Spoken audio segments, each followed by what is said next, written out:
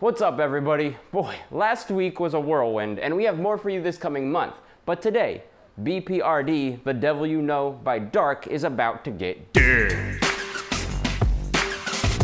BPRD has been on my radar for a while. Their covers always look great. Who doesn't love a team of badass demon hunters? So when they reset their issue count with this number one arc, I jumped on it like a bird on a carcass. Speaking of which, that's exactly how this book opens, in a desert that was never supposed to be. The story was put together by Mike Mignola. The story was put together by Mike Mignola and Scott Allie, and even before you get to the art by Laurence Campbell, we have a full page briefing.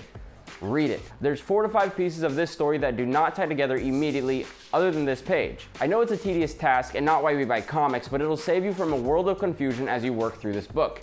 If you're current on BPRD, then let us know in the comments below if it makes sense without the briefing. As soon as the setting and briefing are out of the way, we're introduced to our heroes.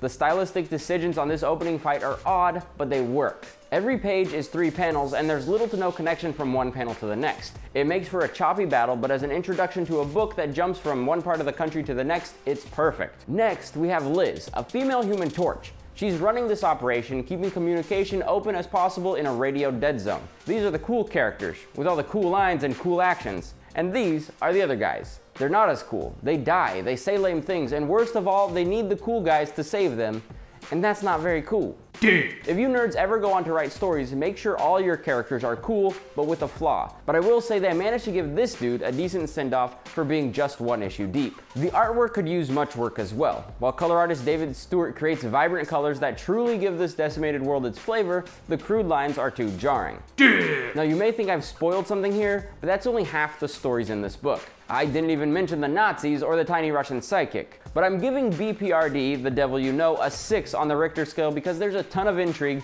but not enough effort to display it properly. What do you think of BPRD? Should we recap an earlier volume to get a better feel for these pages? Let us know in the comments below. Like and share this video, hit subscribe, and come back next week for more. Dead.